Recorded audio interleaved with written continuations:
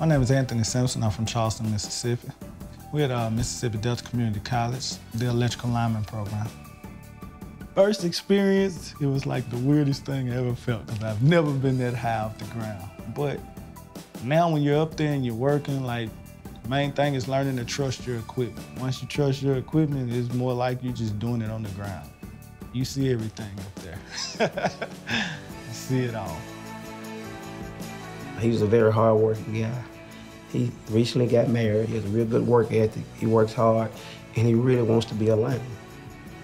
It is a critical element of our society. It drives our society, you know, from a business standpoint, uh, from an industrial standpoint, from a quality of life standpoint. Our customers depend on affordable, reliable electric power. Uh, workforce issues are a major concern for ours because we are such a specialized industry. So we're constantly in the market looking for new hires, mainly due to retirements in our industry. Well, I had already uh, took a course on residential electricity and um, I knew some people who had already been through the program. You know, they talked to me about it and it just seemed like a good opportunity and I've been like going through like job searches and stuff, and there's a lot of things that's been showing up for me.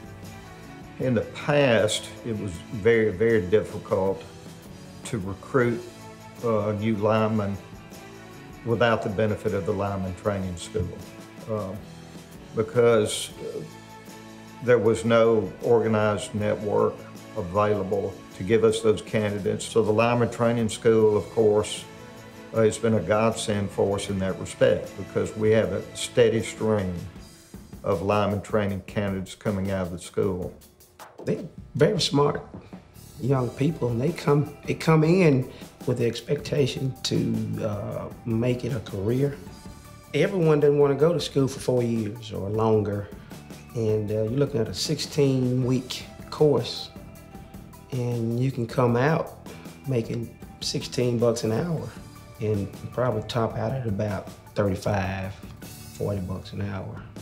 In trade schools, I've noticed you can come in, you get your hands on, you get skilled at what you do. And then you go out into the workforce and you become profitable. I mean, I wouldn't take nothing over trades. I'm having the opportunity to do something I like to make a living out of it. So, I mean, you can't beat that. For more information about a career in energy, visit gettingtowork.mpbonline.org. American Graduate Getting to Work is brought to Mississippi by MPB and made possible by the Corporation for Public Broadcasting.